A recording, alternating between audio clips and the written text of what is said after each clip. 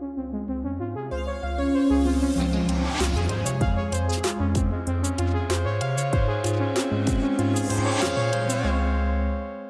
everybody, and welcome to another episode in a day of the in the future. Today we have the pleasure of talking with uh, Raul Popa. Uh, he's co-founded multiple startups and helped launch several innovative software prod- products in the past. Uh, he has 20 plus years of ex- experience in software development, product management, and business management. He's also a Techstars alumni and a Mensa member. And uh, his latest project and product that he's currently focusing on is Typing DNA, a revolutionary tech company that recognizes people by the way they type on computers and mobile devices using typing biometrics. It is one of the most promising tech startups in Romania and it is currently based in New York. It has been featured in TechCrunch, Forbes, Product Hunt, and many other similar publications. And uh, I have the great pleasure of discussing about how future of work is changing the way people trust each other. Uh, welcome, Raul, and it's a great pleasure to discuss with you today. Thank you so much for the invite. Uh, yeah, happy to happy to be here. Well, happy to discuss with you again. Like the the last time we met in Brooklyn, I I really had the the great opportunity of understanding the vibe and what that place has grown into due to you. So I just want to thank you for that. And uh, it's awesome that we can have that uh, this conversation uh, today. So if let's start with uh, the first question that can get us straight into the subject. What's a good example of current trends that is affecting trust? Well, it's uh, it's uh, trust is uh, it's an important topic in cybersecurity, um, and uh, it's uh, and not only in cybersecurity, generally in business, in business, uh, in any any parts of the business. Basically, you cannot really do business unless you trust each other, unless you trust everything from you know the supplier the employees the client the distributors and every everyone has to trust everyone else. Of course there's also sort of like legal warranties and guarantees in place to help make everything happen but without trust we would be nowhere right? And uh in cybersecurity trust has a different a little bit of different um sort of um you know color. Mm-hmm. um the thing is um there's there's many many hackers out there. There's many uh, ways in which um, these hackers you know get uh, access to on on, com- on computers uh, you know install viruses ransomware um, do phishing attacks so so many things like that. And with uh, as a new trend what is i think very very important to understand is the um, you know the difference between when everybody was working, you know, from company premises before the pandemic, pretty much that was the norm. So when everybody was working from the company premises, and uh, you don't, you didn't need to trust, you know, user that much, as mm-hmm. long as they were in the office working on their on their computers, you know, respecting protocol and all that. Now they're moving outside of company premise, and it's much easier for them to be neglect, uh, negligent to you know allow other people to use their computers to click on the wrong links to you know sometimes you don't you don't control. They can be drunk at home you know uh, working or they can be not working at all and just uh, leaving the computers unattended you know with a mouse jiggler or some sort of uh, thing that would just simulate that they're working they're not and you know allowing the computer to be um, you know hacked by other people in many many ways and so forth. So trust all of a sudden um you know became an issue once employees left the company premise. And it's not only for company x it's for their vendors for their uh, distributors for their everybody freelancers whatever companies they work with for any single aspect of the of the work. And it's really like um i just uh, i just recently just heard um a, in another podcast actually. There was one uh, telling uh, the story of a guy named john who uh, they hired during the pandemic based on interview that they did and all that. And uh, this john started working with them right? And at some point they decided to to meet in the office and the guy who showed up didn't really look and act like john. And uh, trust goes much much deeper than that. It's not only that you can trust or not the actual people that you hire. You don't even know if they're the actual people that you hired so and this will affect and i think this affects everything at this point. Imagine there's so many companies dealing with all this like customer data private data um you know they work with government maybe with bigger companies they work with airline with energy providers so forth. So there's so many things um waiting to happen that could damage our entire the entire thing and could compromise you know anything from the energy sector to travel to accommodation to you know banking and so forth. So um everything relies on trust and trust is now disrupted by this work from home um thing and that's where we as a company try to fix things and there's a number of others that are trying to do that but we can maybe talk a little bit about that uh, a little uh, later. I hope this uh, response kind of covered a little bit what you wanted. Yeah it, it did it did. But so I, am curious how then did the pandemic affect uh, typing dna's uh, plans activity? Like did typing dna came uh, after the pandemic started or it was already running for a while? And for how how long? So typing dna is the typing biometrics company. We started with research around typing biometrics trying to mm-hmm. figure out how, uh, whether we can use the way people type for different things. Not just only authentication not just only you know um, keeping unauthorized users out of company computers and things like that. Basically we thought okay so the way you type is unique right? And the fact is unique. Well there's a number of unique things about people like fingerprints like voice like um, you know their face and so forth. And and and now you know these are ob- obviously very often or a dna and so forth. Obviously these are used a lot of time for authentication uh, in different aspects different types of authentication right? Um and we thought you know this i mean it's normal. This uh should be used as authentication because it's a biometric and why not? And then we realized hey you actually don't need any external hardware. You don't need any you know can work on any computer even on mobile phones or anything that has a, any sort of uh, keyboard input even a touch input. Um yeah could you know in theory could work even in the metaverse. As long as you have a keyboard somewhere that you you operate in a way or another mm-hmm. Mm-hmm. you can you can uh, record typing biometrics. So the the the way you actually press the keys, how long you press the keys, and so forth on mobile devices. Also, how you tilt the phones while you while you're pressing each key, and so forth. And so we were we were thinking of that, but then a lot of other uh, ideas came along, like. Uh, for example, from voice, you can uh, you can make predictions about about uh, people's age, like gen- uh, gender, um, maybe uh, race, things like that. Um, and, and the thing is, um, th- th- th- some of them, but you know, there's there's already applications that are using voice to when, for example, you're talking with like a support, uh, you know, guy somewhere, you know, or sales guy uh, over phone. They have now this. Um, there's and there's many companies offering this already, about five or, or so. They have this um, real time analytics of your voice, and they they know that you're now stressed you're you're being aggressive you're being you know uh, happy you're you, you know you want to continue the discussion you don't want to continue and so forth. There's all all these indicators only from the the your voice.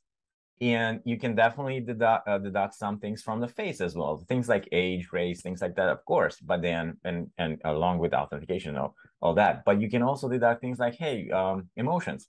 Like that person is happy that person is angry that person is you know curious whatever and tired and so forth.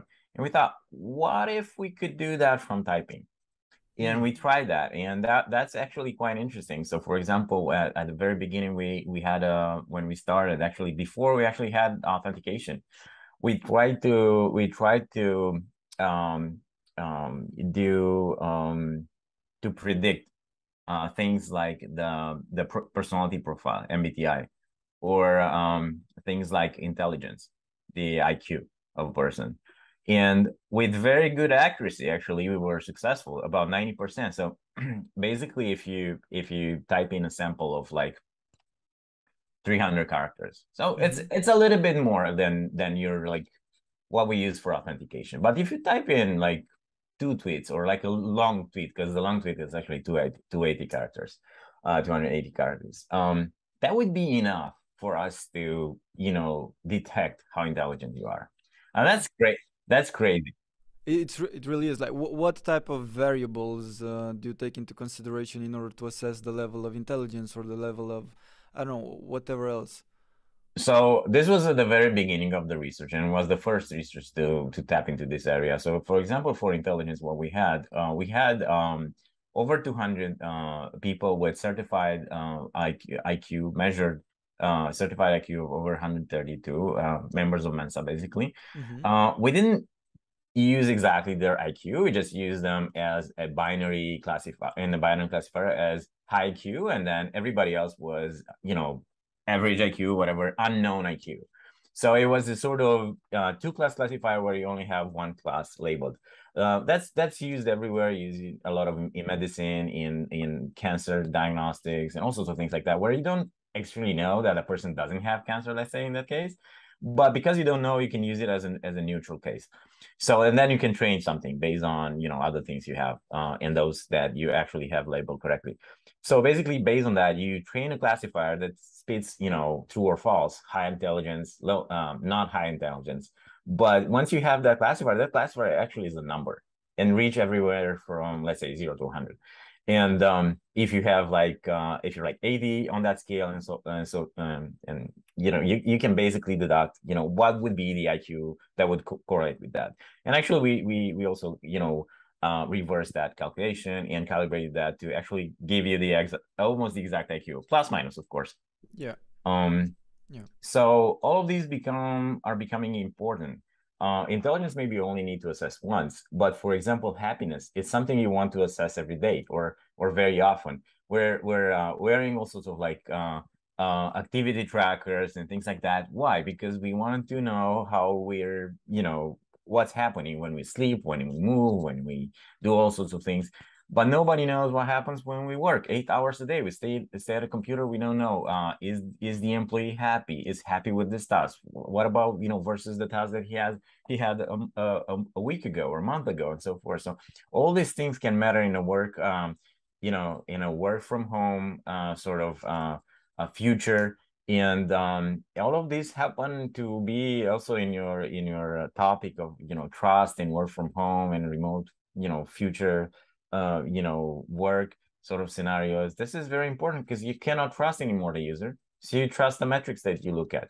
You know who they are how you know good they are what they do because you see the metrics you see the performance. Also in you know if you measure performance you see the productivity. If you measure some sort of productivity met- metrics you know you know maybe they're happy they're not happy they're tired they're drunk you know everything like that. I mean a lot of these things can be measured through typing. So going back to your question your question was uh, when we started this and and and you know all that so we started back then with all sorts of research we built this authentication api uh, which we started selling to in uh, for different well, companies. One thing, sorry for but interrupting. Then, How did the idea came to be? Like, what was the first moment that the idea came, uh, and how did it came? Like, was it a need? Was it how how did it came up? I uh, I was involved in a different company uh, in an advertising sort of uh, platform where you can create you could create uh, advertisements and um, and place them online. It was called Banner Banner Snack. Now Current Creatopy, right? Yeah, yeah. Now it's called Creatopy. I think they're doing quite quite well. It's one of the few Romanian companies or born in Romania. Um, actually, I think they're like U.S. Romanian, but like um mm-hmm. have a lot of employees in romania and all that and um they're doing they're doing well and it's uh it's one of the few companies that actually you know do something on an international level uh we are actually using it at our company as well. They're yeah and i and i find out only afterwards that they're from romania and i i was really amazed. I was uh so i uh was one of the one of the first people behind uh, Creatopy or Banner Snack uh, back then, and um, it was it was a nice experience. We actually invented something that was not didn't exist back then. There was no Canva. There was no other competitor at that point. The competitor was Adobe Photoshop and uh, Adobe Flash. Whether you wanted to do animations or like uh, you know JPEGs and GIFs uh, with for ads and uh, we realized, and what's very interesting, we realized at some conference, uh, Flash conference, that um, we actually had at that point a um, a um, um, component for animations called uh, Flash F that was used by half a million users, half a million developers and designers. This is a lot because Adobe Flash in its entirety had 1.8 million, um, you know, developers and users. So 1.8 million, out of which 500,000, more than 500,000 was using Flash as uh, uh, Flash our animation component. So we went to this conference and talking to different people they were all, all you know about you know how you know amazing projects they were creating with Adobe Flash and all that and with other you know tools that they had back then this was before like the mm-hmm. html5 javascript sort of um, you know took off when flash was like the king and um and they all said look we're and we, we, we started asking them actually um gabi jurdas who's the who's the ceo and owner i think of the major uh, most most of the company is um he came up with the idea of asking people what uh, what they use you know Adobe Flash for, and uh, everybody you know, said like uh, ninety uh, percent of the time they they do banners, and like we looked at this uh, information and we thought why not do a tool that only do banner with. Like you, you don't need you can teach Adobe Flash. You don't need the components, uh, components, the effects and everything. You just need the application to build that. So initially, Banner Snack was actually we hacked into Flash Player you know created um you know a this this ability for us to actually output flash animated banners. That was the initial thing. Flash animated banners that looked like apple keynote sort of mm-hmm. powerpoint uh, presentations which were out of this world back in 2009 2010 um so creating animations like that in in in, in a banner ad was something new and without flash so anyone could could do that. And then we made it really cheap actually free for for a number of users. And actually it took a lot of time actually until it uh, it started to you know to to have um, good traction. And now it's uh, obviously they do they do now gifs and html5 and javascript uh, banners and multiple size and native and whatever. I mean they they're expanding and it's it's it's normal to to see that in Flash, I don't even think that they do any Flash banners now because like there's no Flash now. Flash is now obsolete. But um, but uh, that's that's uh, what we were doing. And at some point in this whole process, uh, we were thinking, um, and what's very cool about uh, Banner Snack at that point is that we had um, both um, the platform to create the ads, and we had the platforms to upload the ads and monitor the campaigns in different pl- platforms. So Google DoubleClick was then, um, you know, a number, number of them. Like the mm-hmm. biggest, the biggest, the biggest platforms out there for um, ad campaigns, we were connected to them. That was not the most successful part of our project, but what was cool about that is that we had access to data how that those banners actually perform. So we knew the banners that we created, how they perform, and we were able to play with machine learning. Mm. And, uh, and and actually, I started playing machine learning in many many projects of the uh, uh, in in Banner Snack. We actually were able to double the revenue at some point just by understanding which of the free uh, users are actually potential premium, things like that. It was was very cool cool times. These were around, around like 2013, something like that, 14, 2012. So a few years like that, uh, kind of involved in a lot of machine learning uh, and and try to figure out things. And one of the things was um, one of the things is that we um, we created a thing called Banner Score. It was not very very successful. Actually, we took it off afterwards uh, after like half a year or so because uh, people didn't know how to use it. But what what uh, that was uh, actually provided, uh, what what it provided is basically looked at what the content of a banner was in about sixty parameters from like the text, the font, the legit legibility of the text, things like that, mm-hmm. like the images used, contrast, all sorts of things colors of the buttons, if they have buttons, if they have exclamation marks, all those things. There are a lot of metrics like that, and that all those put together in like machine learning. And the quality of each banner was assessed by how you know well they run in the network. So the the you know cost per click. And based on that, we were able to you know derive you know a a prediction engine, a machine learning uh, you know engine, an AI that would basically uh, be able to score any banner as you're designing it based on the content and say this has larger success uh, or uh, larger chance to have a success um, you know to run uh, in in this network or that network for this um, and we'll make this amount of clicks and so forth. We decided it's too many too much information. We just put there a thing called banner score. The higher the score better the banner. And that's something completely new was not done before but while doing that, we basically did a lot of pattern uh, analysis, and I basically dig deeper into. I had a few people that um, around uh, in the team, in my team that also did machine learning, but uh, I realized that it's uh, it's something new. That nobody know how knew how to how to do machine learning, how to do AI, and everything. So I started teaching myself AI and going through different pattern recognition problems, different problems like that. And I stumbled upon um, keystroke dynamics, it was called then, which is what we're doing at Typing DNA, typing biometrics mm-hmm. uh, as a topic. But uh, it was very, at the very beginnings, there were a few companies or researchers that did a lot of research around this, mostly with statistics. So machine learning was not really used, not to the level that we're using it um, the, the technology was not that accurate and all that. But because I was researching all these pattern recognition problems and how to solve them and different machine learning algorithms and so forth, I kind of like pieced together things. And I realized nobody put those together in a way that I did. And with a little bit of time, I can actually make something work that is better than what everybody did before. So actually, what I did, I, I quit Bannersnack at some point. Uh, not to start this, actually. I, I just I wanted a break. Mm-hmm.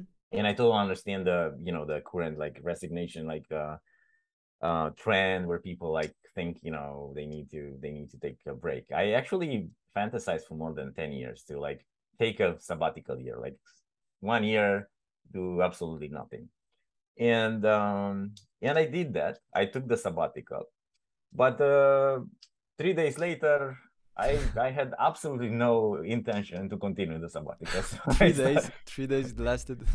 yeah, so my sabbatical started in uh, uh, December uh, 2015. Actually, the when uh, New Year's Eve 2015, 2016. Three days later in January, I was like, I'm not I'm not going to sit around and do nothing. So, uh, but I needed that reset that's the thing. I understand the mm-hmm. reset um, uh, motivation why people need the reset. There's a lot of times a lot of things like uh, just pile up and you need uh, to clear things to clear thoughts and then start over from like blank state. And and i needed exactly that. And um and i totally understand when people need it. Has anything specific helped you with that? Just like i don't know maybe some uh, some listeners might uh, might be really curious about okay what what helps you with doing that reset especially in three days? Like I'm no, I'm very passionate about what I do, and it just needed to stop being passionate about what I did at, at Bannersnack mm-hmm.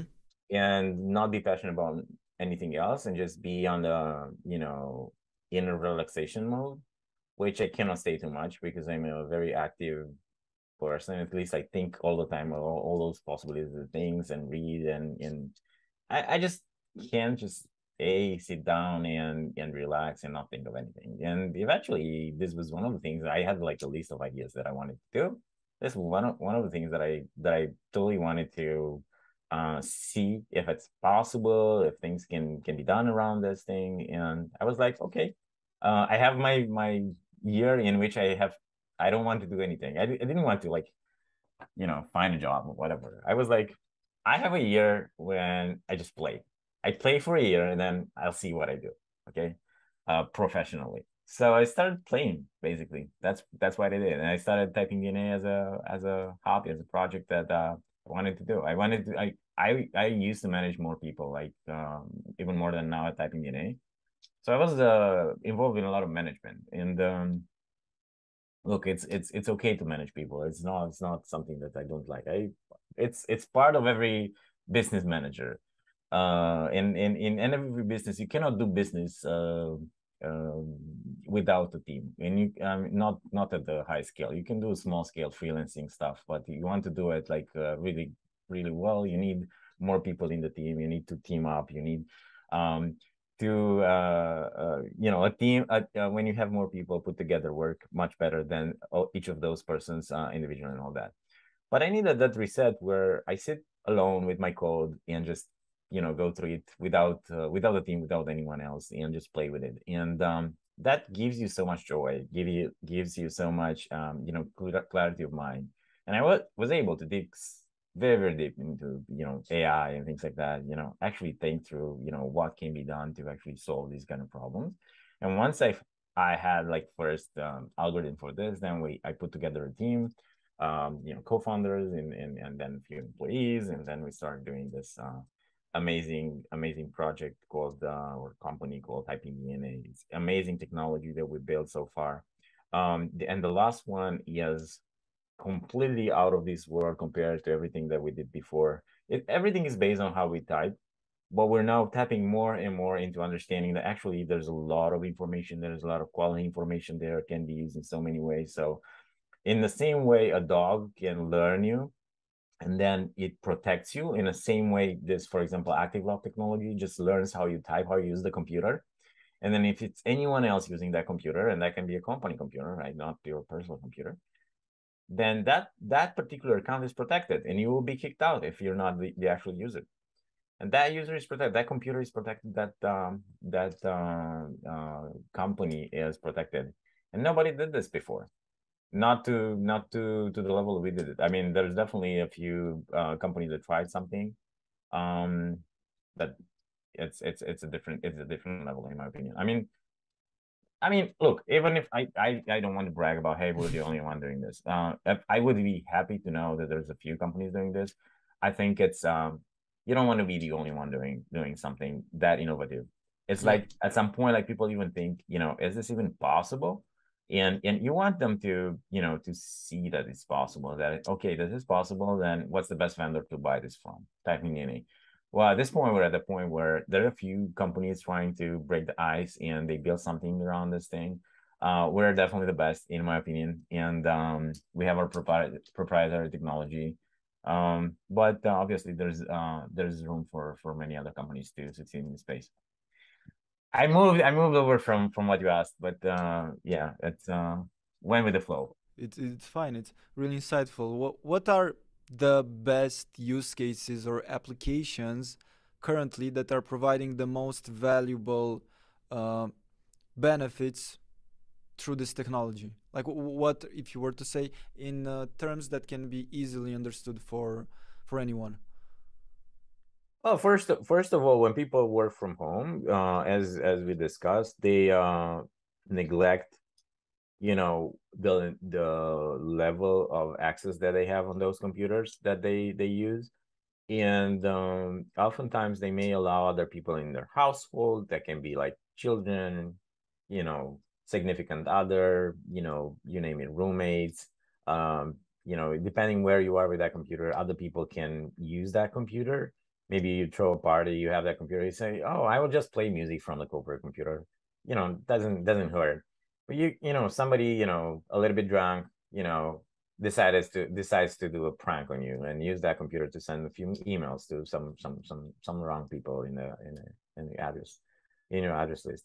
So there's many many things that can happen once once a computer leaves the company premise and protocol says you never you should never allow you know anyone to use that computer should never allow that computer to be uh, unlocked and unattended things like that. Nobody respects that. And when you have thousands of it's like with the seatbelt you know people don't you know don't respect protocol as uh, you know if if if nobody if if there would be no police to verify whether you have a seatbelt or not probably like 10 20% of people would would ever wear a seatbelt.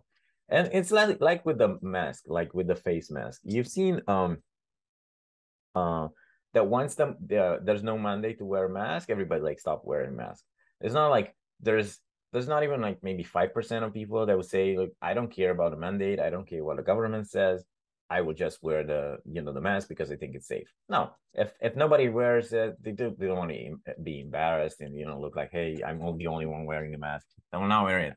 So the risks, uh, the perceived risk, actually not not that uh, valuable for people. People look at you know other indicators like who else is wearing this mask. Okay, um, and and and, and it's it's uh in in a way you can you can use that um I was curious if there are certain certain industries, you know, like certain type of companies or certain type of uh, you know like enterprises that benefit the most from this technology at the moment. So we can better understand okay who is actually benefiting the most yeah so i i, I was trying to say basically that every company that has uh, people working remotely and it doesn't have to be a large company okay? It doesn't have to be a company that has a thousand or ten thousand employees. It can be even a company that have 20 employees. As long as they're working with some big clients and have uh, customer data they need to protect maybe they have a really big portal. I think at the at the point when I think Instagram was bought by uh, Facebook, it was like, if I remember correctly, it was like 10, 11 people or so behind uh, behind Instagram. It was like at least, uh, or or for sure it was be, below 100. It, it, so tens maybe. Yeah, yeah. The yeah. thing is, um, the thing is, you know, the fact you have few employees doesn't doesn't mean that the impact of your application is not huge can be huge can be you can deal with millions and millions of people their data is important private data is important their conversations are important um and you want to protect you know every computer in that case and not computers uh, from other people uh, using them but from everything from phishing from and the users need to protect themselves from phishing and things like that they you need to have 2fa in all applications you need to you know uh, make sure you have like endpoint uh, detection and response solutions um, that you use, antiviruses, things like that, VPN, so forth. There's so many things you need to use in a zero trust uh, world where you need to verify everything all the time because you're not in a company premise anymore and everything happens through the cloud, through computers that are everywhere in the world and all that. And my parallel with the seatbelt is if you if you you know tell people train people to wear the seatbelt they will not wear unless you police it. And you and, and you cannot police it anymore when you let um, allow people to work from home. You can police it when when things are happening in the company premise. Once you you allow people to take the computers home look you don't you don't see that i have you know what pants i'm wearing right now right you don't see that because it's not in the camera it's the same yeah, thing no, it's no, the same thing no. with employees you don't see you don't see what they're doing at home you only see what what they allow you to see and the point is they are not respecting protocols and training and everything else.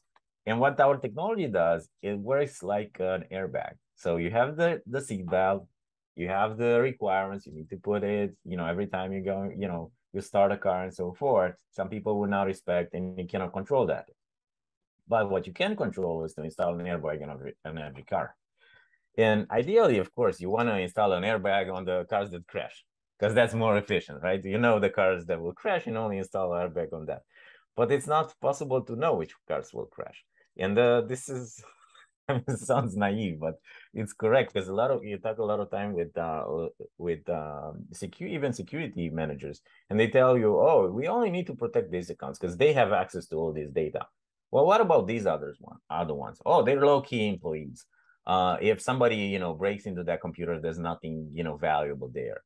Okay, but imagine I have access to that computer and I write an email to in Slack or Teams or whatever application or email and send that uh, message to 10 of the most contacted people in the organization by that person. I just can look up in, in Slack and I yeah. find like my last 10 chats and I say, our boss, you know, name here, in, in insert name here, is here with me and ask me for our client list or for the password for whatever you you know put whatever you want there how many of these people will comply and just give that password whatever access that uh, you know that person is asking for and, and they're like oh um, well we train them not to share you know things like that with like but it's the boss who's asking no, nobody like you know you know protocol is one thing but when the boss is asking you know i'm talking like how the you know companies in western Europe and US work. Even if you have protocol, if like a big boss asks for something, nobody wants to lose their job.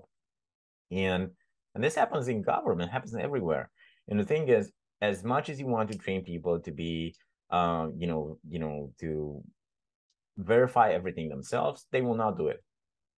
And if like your boss asks for something, you don't want to be fired for sure, and you just comply And that's that's what happens and, and this is one example but you can trick that person into thinking that you need that information to help them to whatever to there's so many ways in which you know social engineering is such a nice an interesting thing. I mean, we should study it at university. You should have uh, you know degrees for like social engineering.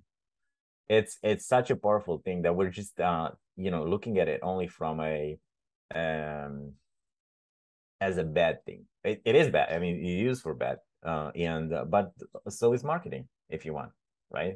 It uh, in a way yeah maybe just add ethical you know into social engineering and, and yeah. it changes a bit you know like how i 100% agree. So ethical social engineering that basically is understand how how people work and use it in an ethical way. You basically can navigate you know the world and and you know for good and do do stuff do good stuff. Psychologists know it but knows it but uh, knows how to use social engineering and hackers do but um you know not marketed sales.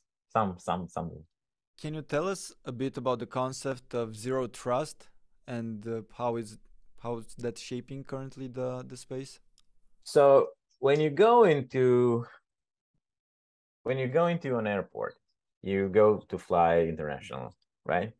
Uh, first thing you go in, if you have a ticket and a passport, you will need and you need to go, you know, through TSA to to mm-hmm. uh, to to check, you know, whether you have guns on you, whatever, you're safe to travel, right? So that TSA check is in applications that we're using, you know, everywhere is the login.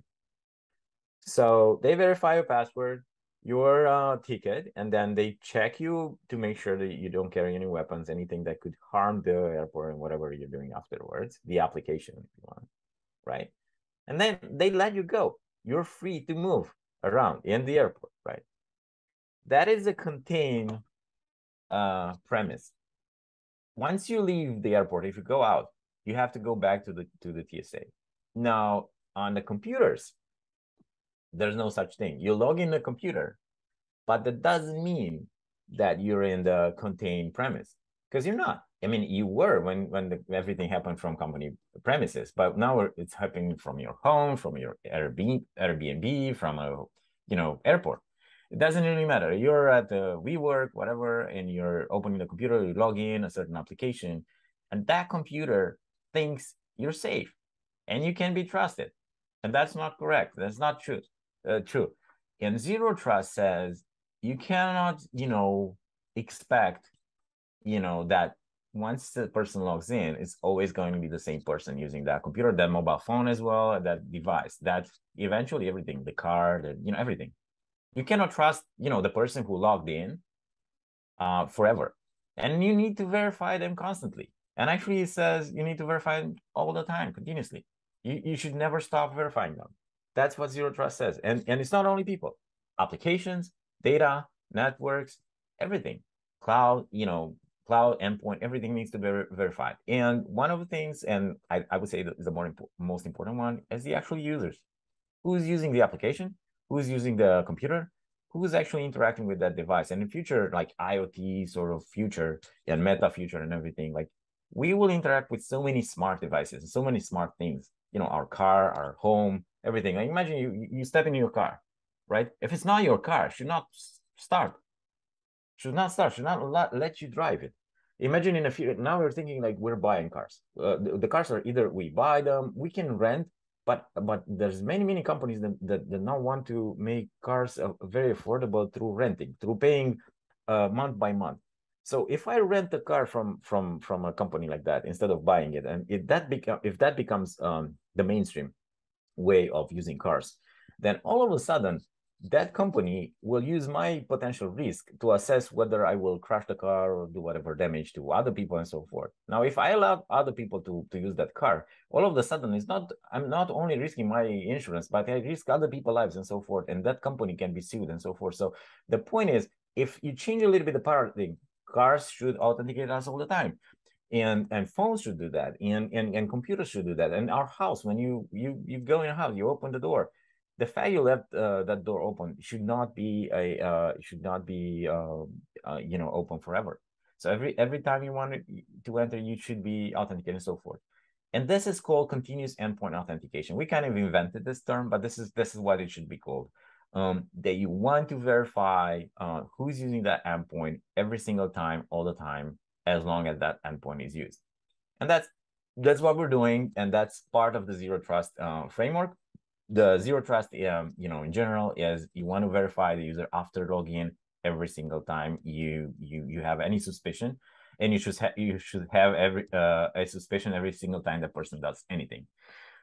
Th- that was a great analogy in simple terms. I, I so th- the thing is basically that okay, in the physical world you can contain stuff. Once you go into digital, it's it's open to to anything.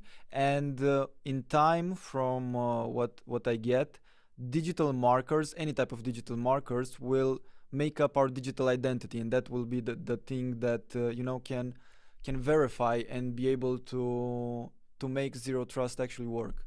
And and at that point, what I got from other discussions and discussions and whatever I talk with uh, with other people in the tech industry, and not necessarily only only in tech, is okay. But how do we protect that uh, identity so it stays only with you? You know, how do I have control over my identity when it's made up of everything that uh, basically can uh, understand me?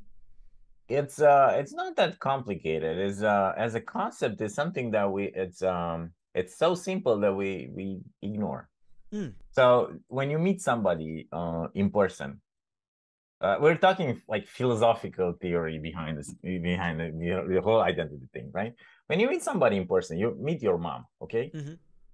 how many times your mom asks you for a password or like your day of birth or anything like that to, to make sure it's you who, who she's talking to?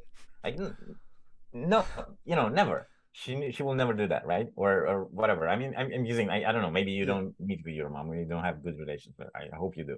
It, it, it's it's an example okay? Yeah. well, my point is um in real world we do authentication even animals do authentication without thinking of hey we're doing authentication. We're doing zero trust authentication here. But you know in real world if you would have uh, the ability to swap places like you do in digital world and if somebody can be online or that you will always like try to check you know whether it's, is this the same person that i'm talking to? Is the same person that i that i talked with like uh you know an hour ago or a, a day ago or anything like that or a second ago? That's the problem. That's that's the thing with zero trust. So you cannot trust the person even you know you know i somebody could interfere with that communication could interfere with that you know browsing experience could interfere with that computer you know very very fast. We're actually checking the checking the device every 10 seconds. Some some zero trust technologies check uh, a user every five minutes or they make uh, the make the verification expire so that it needs it needs to be done again. Or you have those cookies on a computer uh, that once you log into let's say amazon for like the next 30 days you don't need to log in again because uh, on the same computer you already have the cookie. The cookie says uh, this computer used before Amazon was authenticated, so should be fine. Well, leave that computer in a WeWork and go to the bathroom, and basically that computer, you know, can be accessed by anyone. And with little little amount of text, you basically you put in an order, you type in there, please leave the package on this address, not that address. You enter a new address, or maybe leave the address, but leave the the, the I don't know the package before um, in front of the door, things like that. You give some ins- instructions there, and then you leave, and then all of a sudden you bought the thing, maybe very expensive, mm-hmm. from that Amazon account without them even. Uh, they think, oh, we can trust this user. This computer bought before. Um, the thing is, that's not zero trust. That's um closer to zero trust than you know trusting the user in for its entire you know journey but it's not full zero trust and the thing is they don't have to be 100% zero trust because what they do is they um, they uh, use risk. So they look at the level of risk and based on the level of risk you if you buy like I don't know some um, you know ten dollar mm-hmm. wristband whatever uh, you buy it's it's it's not important to you know verify you with all the factors. You buy in like a macbook pro right or something like more expensive or something that you don't use to buy all the time then why not do more verifications? But the thing is you do more verifications at that point you get into something we call in e-commerce cart abandonment. So people will just leave the cart, will not buy the product because they asked to go get their phone and you know find a code and put the code in, and the phone is somewhere else, is locked, is charging, is whatever. It's nighttime and it's in a different room. You wake everybody to to get the phone. all those things. So there's always a, percentage of cart abandonment or churn, if you want, when you ask for 2FA for any additional, mm-hmm. uh, you mm-hmm. know, measures to verify the user in a in an application. But this can happen everywhere, right? So the way we're doing is we're doing it passively. And that's that's actually pure zero trust is passive. It's basically you don't have to do anything. You just go go by, you know, do whatever you you do you you buy stuff you you know uh, check different check email you know send messages do whatever you want. We just watch you from you know the background. We i mean the application watch you in the background. Actually happens only on the computer. Doesn't send any data on the cloud this uh, you know continuous authentication technology for example. And if somebody else just locks the computer that's it. And um so it it instead of you know adding friction to your experience it removes friction, but it adds security. And this is something we'll we'll start to see everywhere, and that's what the China China is doing with face recognition everywhere. So basically, you don't know, you just like go into places, and you're being verified. If it's if it's not somebody who should have access in this certain building, and you're going there, like all of a sudden, like you know, you'll see a few a few people, you know, uh, you know, addressing you. Hey, what are you doing here? You should not be here. Yeah. Or you know what I mean? So it's um you don't see this type of security, you don't see, but happens everywhere and happens all the time. So this is zero trust. Zero trust you don't you you should not see. But the first step into pure zero trust that is passive is super annoying, active, friction based uh, authentication all the time when you do and when the application does everything needs to be verified and a lot of times you will be asked to like put in your finger if you have an iphone and you buy stuff from apple store you know all the time you're being asked to do face recognition or whatever you know put your fingerprint uh finger on or put in a code every like few minutes to make sure it's yourself when you buy certain things of certain um I mean, you can de- deactivate that, but that's the default. And uh, eventually, we will lose that. With continuous authentication, the device will always know it's you on the device. So will not you will not need to, you know, to do all that. And that's um that's like zero trust in a in a pure and and and, and frictionless form. And I'm curious, with any new technology, with any innovation, there is an early phase in which adoption is trickier. There is friction in adoption because it's new. It needs to be integrated in the way we did things. Like in this case, uh, in the case of typing biometrics and its applications, what are the main blockers or the main challenges in uh, this adoption? I uh, I agree. It's a it's a so adoption curve um and um you know applies to security as well. So uh, cybersecurity and um you have the crossing the cusp um you know uh mm-hmm. sort of paradigm where you need to be interested at the, at the beginning to like early adopters and then do the you know to tap into a certain field niche and then go to like majority and so forth it's the theory popularized by um by Crossing the Chasm uh, um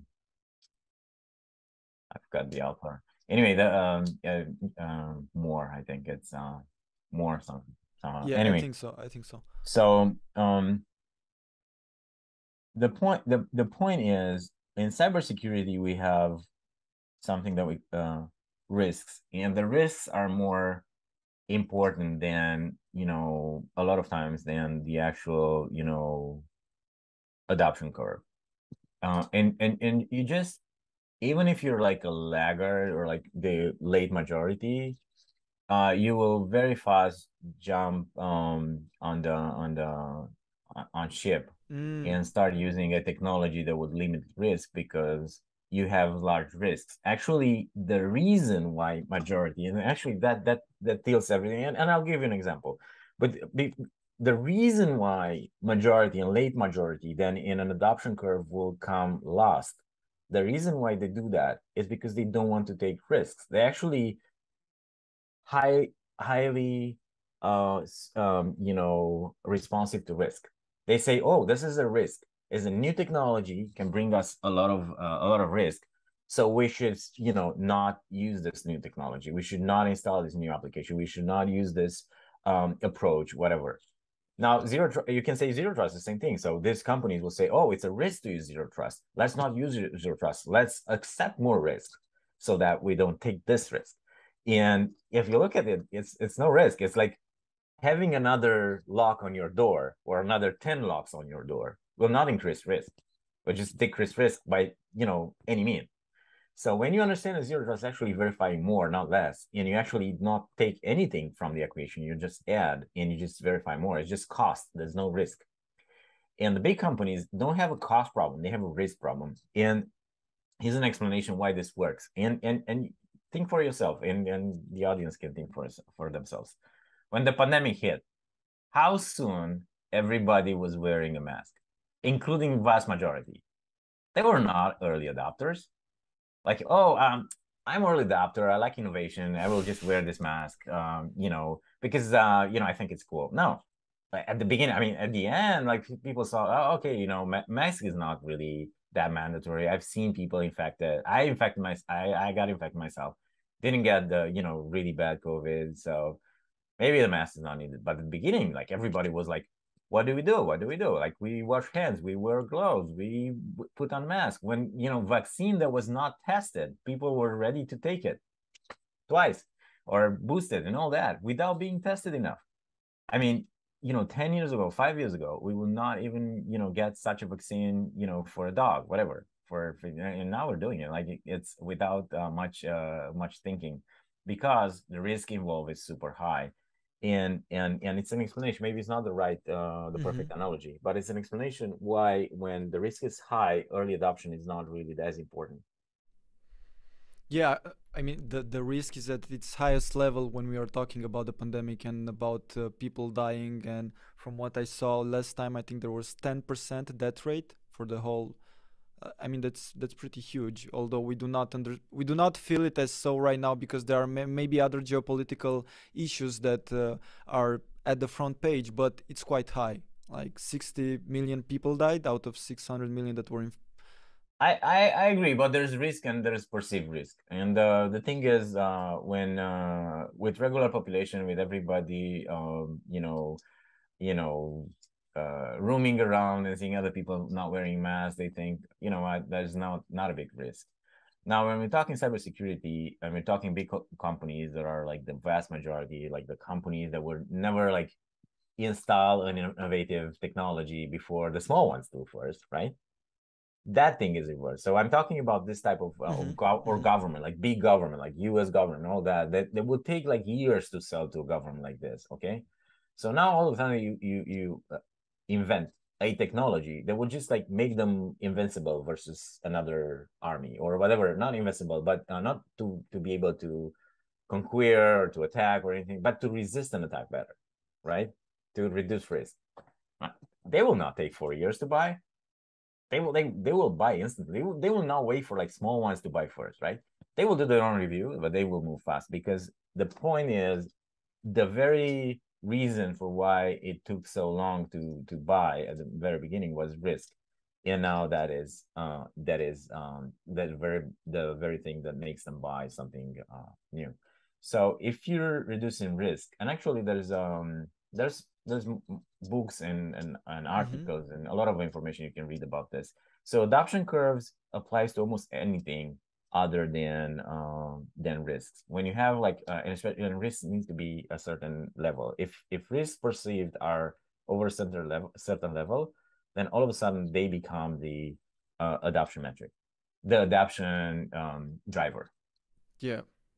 And it happens re- in reverse. Everything that we learn from uh, Geoff Moore, I think it's uh, yeah. it's the, the author of, of Crossing the Chasm. Everything gets it happens in reverse. Big companies are are, are doing it for are, are you know installing it for using using it for and then last comp uh, the small companies can't afford and even if they're early adopters they're just like um they they don't even have a motivation to do it because already comp- large companies do it. And they when uh, because they're early adopters they only look at things that large companies are not doing government is not doing they want to do something like uh different and so forth. So it's it, it's reversed.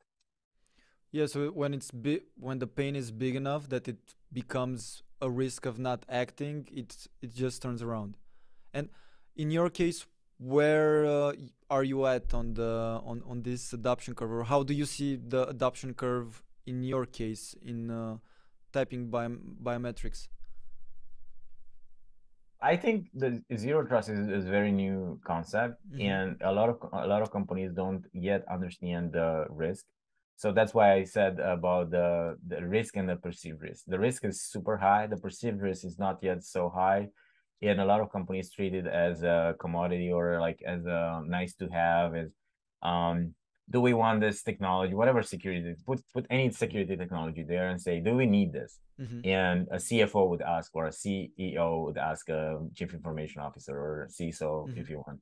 And we'll ask do we really need this and they're like yes we need it we have people working remotely we have this type of uh, risk we definitely need to protect against it and it's like and they there's okay uh, what about the competition? Are they up to date with this thing, or they they still have the same problem? And they're like, they're not up to date. Like nobody's up to date. It's something super new. Probably they will have this like next year or something like that.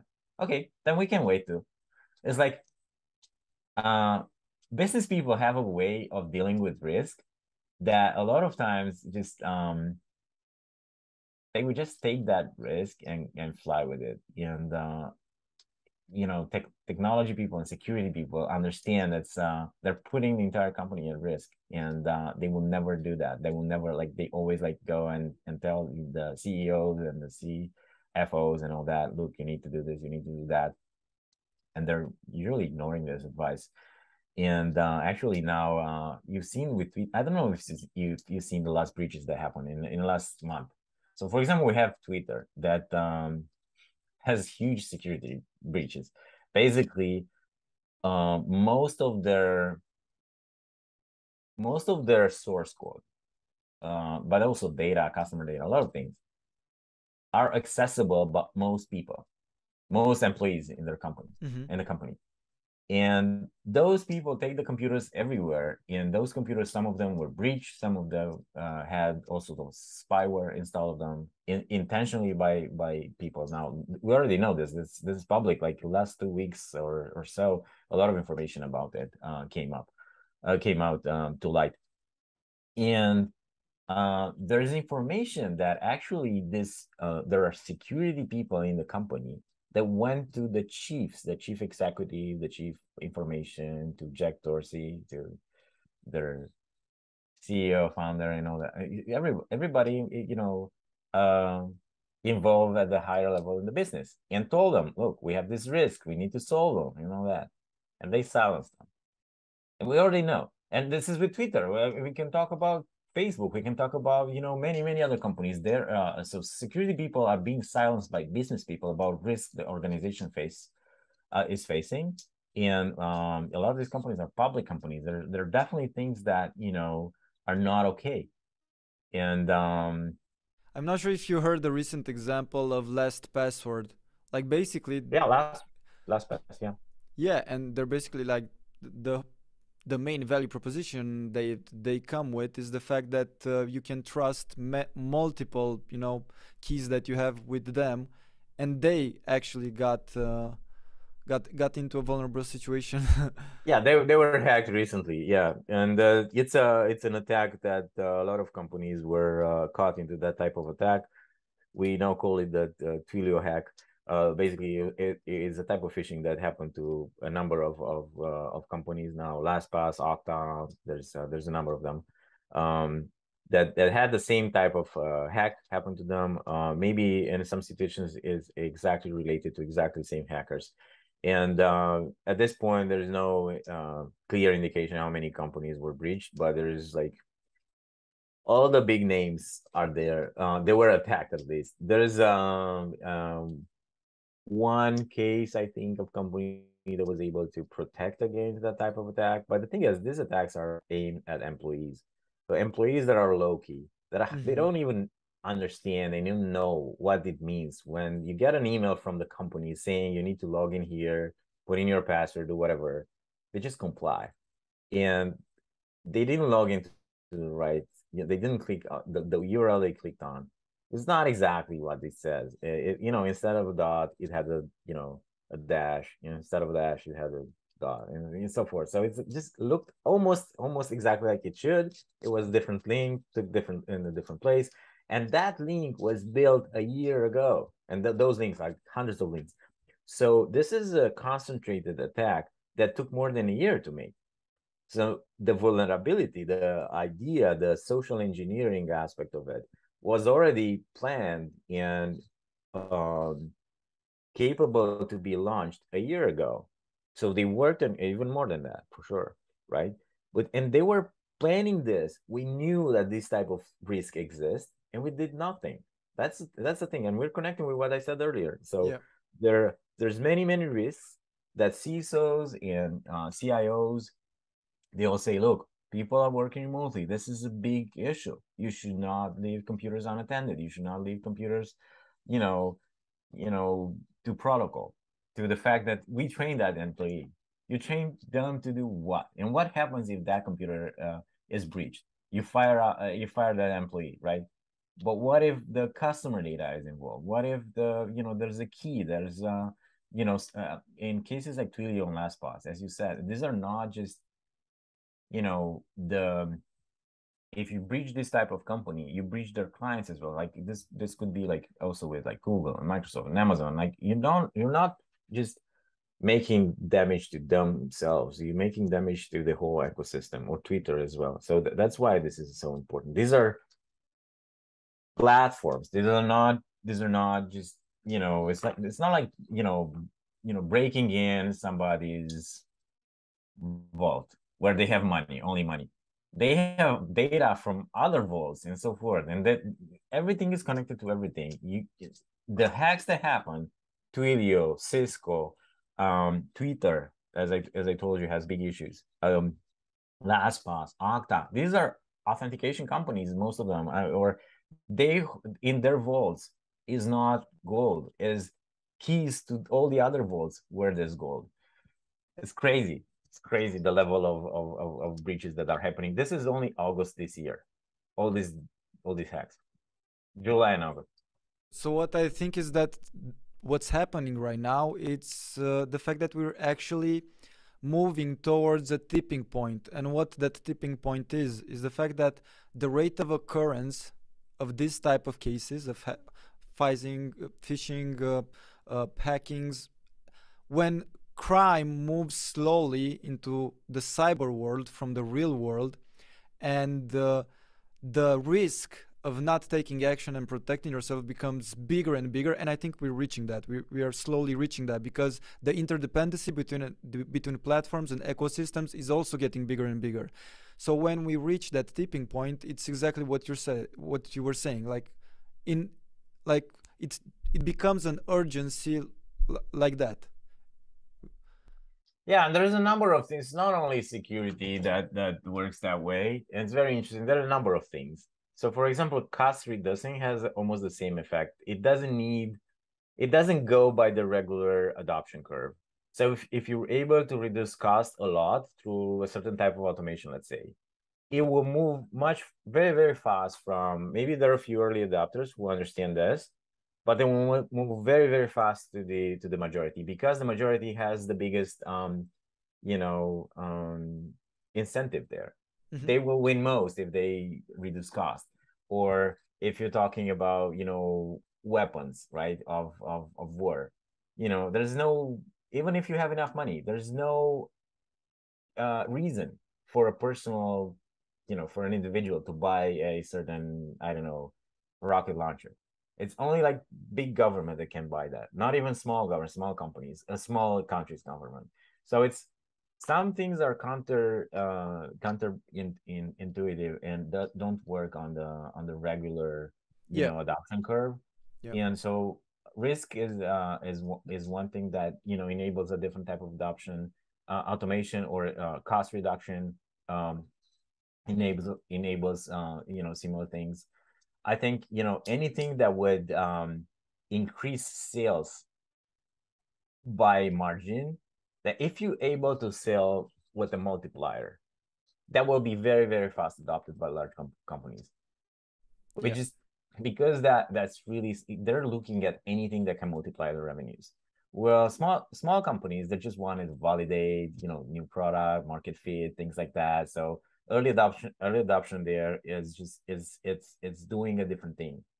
They're validating they're helping you know you know brand uh, branding and messaging and getting it out there and making other companies and, and government whatever clients learn about that technology all, all that.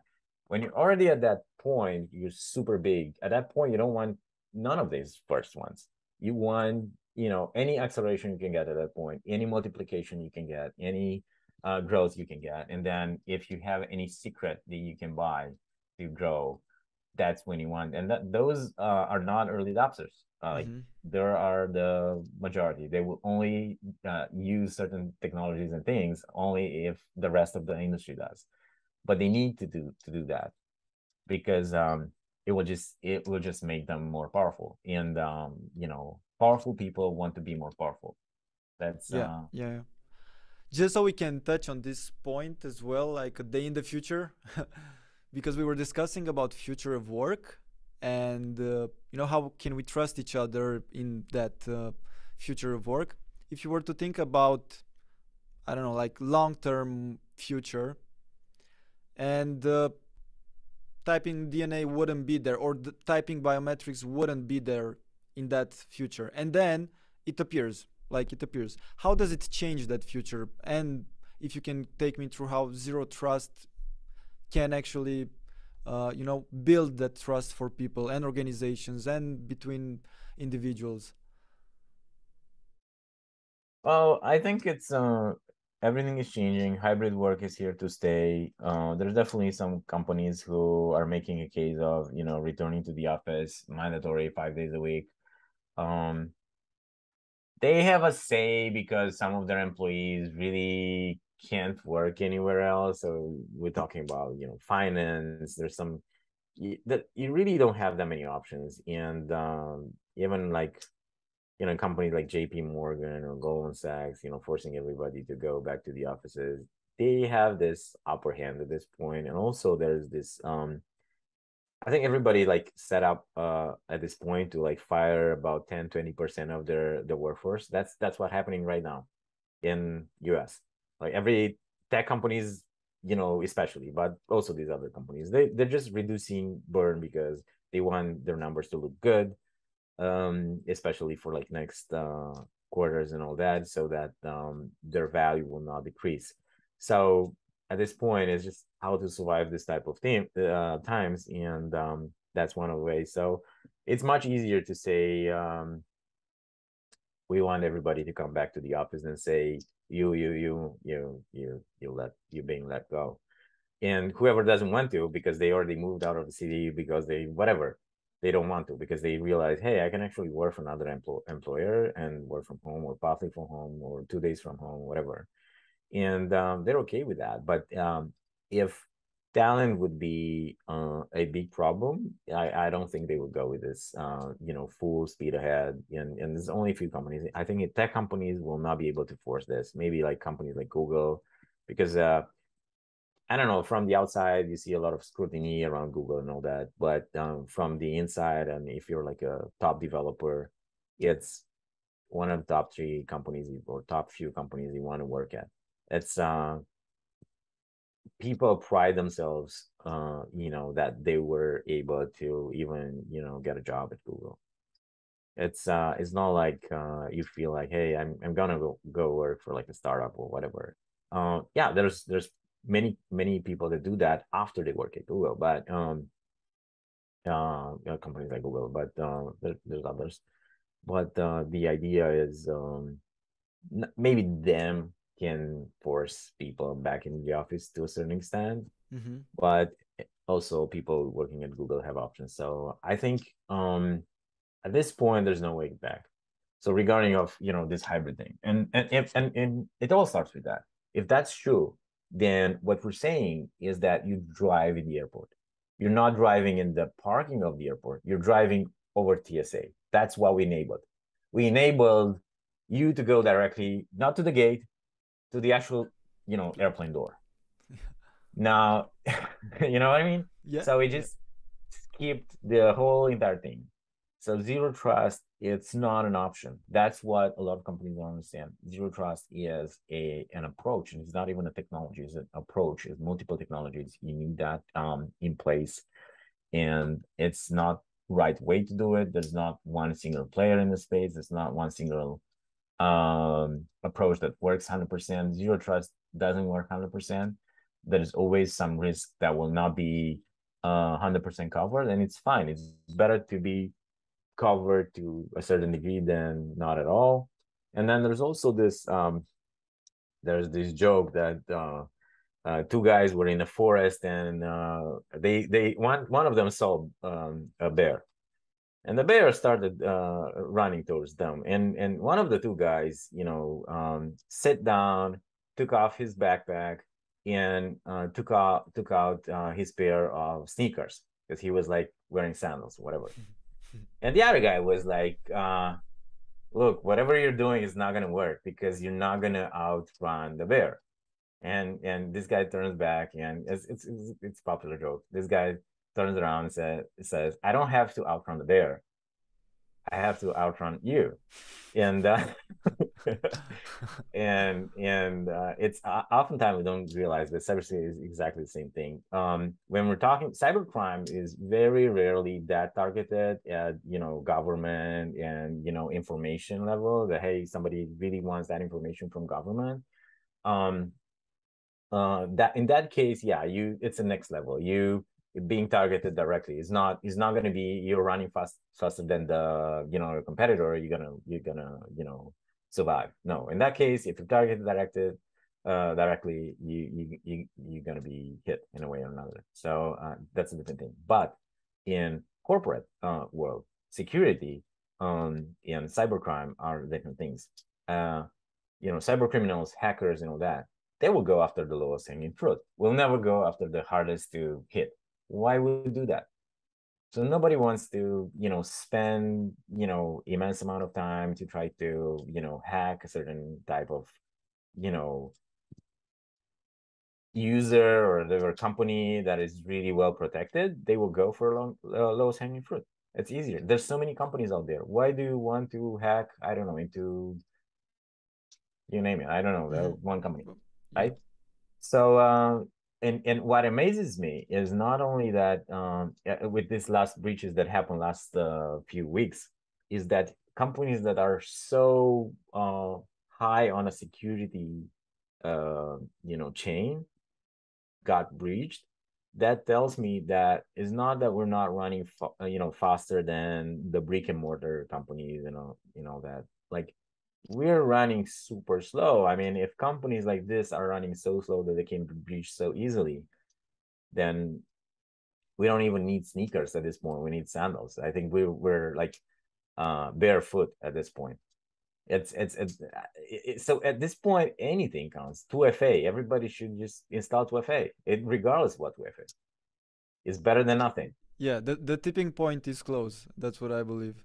the tipping point is close yeah so the idea is and now with the remote working everything like changed so much that we really need really need new approach. And um, the new approach is zero trust. And even if you don't do everything you start you need to start to do some of the some of the things uh, in uh, in that makes sense in a zero trust approach. So just one more question on, on this on a day in the future.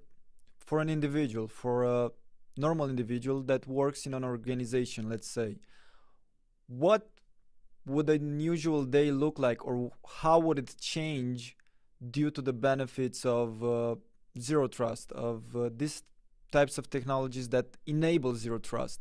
Would it change in any way? And if so how?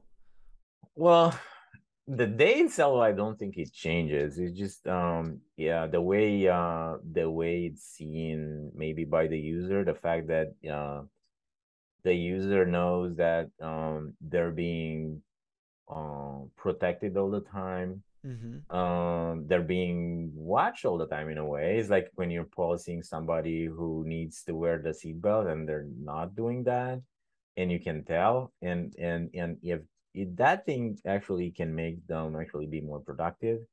So all in all, you know, having an eye on your computer, which is the corporate computer, is not is not the employee computer.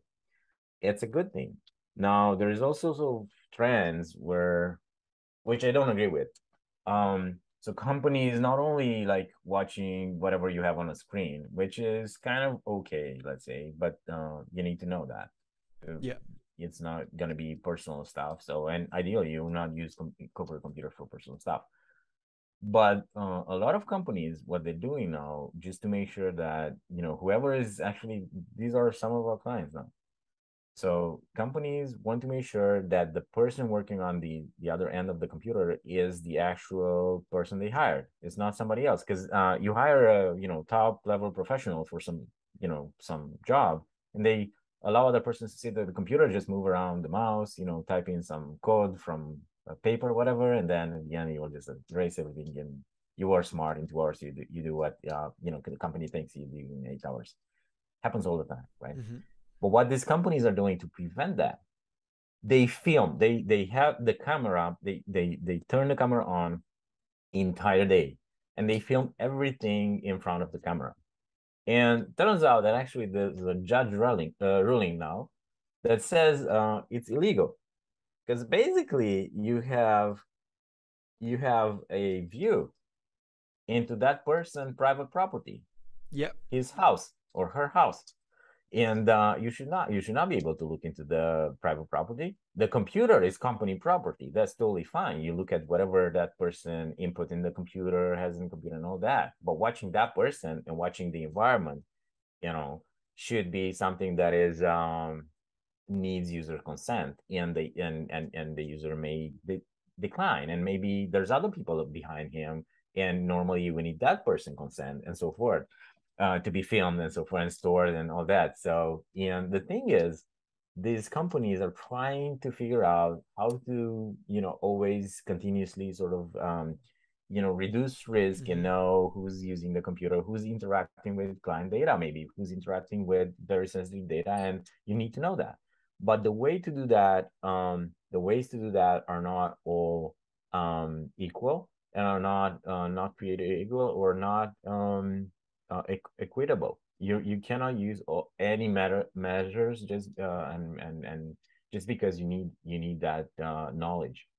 Surveillance has this uh, you know tricky tricky thing attached to it. You don't you you cannot use all the time surveillance just because you uh, you suspect something. So uh, the default of not trusting anyone in the first place. It's correct for zero trust approach. It's not correct for interhuman relations. You have to start with trusting the other, right?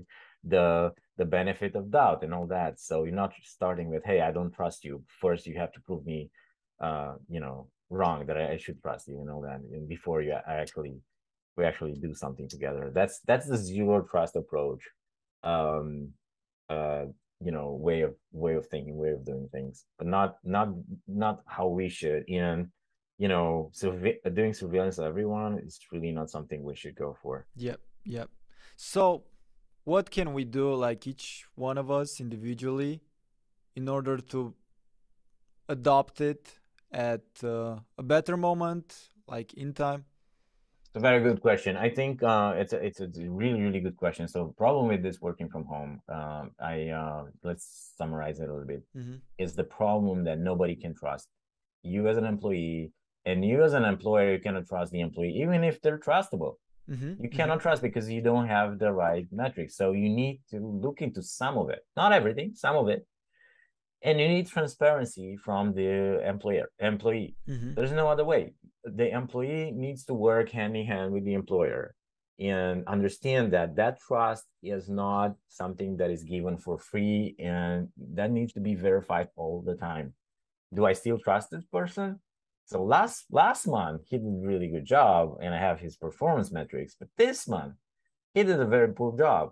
Do we fire this person? Let's look into more data do we do does this person have their you know a good arg- good argument why his performance was lower or maybe mm-hmm. we didn't understand things and so forth about his performance things like that. And um you need this sort of transparency in the way you measure performance and the way you me- measure you know authenticate the people and all that. Uh um, you know make sure they're not cheating they're not uh you know doing any sort of fraud uh, you know corporate fraud uh, that would uh, compromise the company and so forth. So there's need uh, there's a need for transparency on the other end. You want to work from home, fine, but you need to have some sort of transparency that you agree with. I, I fully agree with it. Okay, thank you. It was it was a long and insightful conversation. Thank you very much for for staying this long. Uh, it was great to have you today, and I'm really looking forward to meet again and discuss some more. Th- thank you, Raul. It was great having you today. Thank you so much. Thank you so much.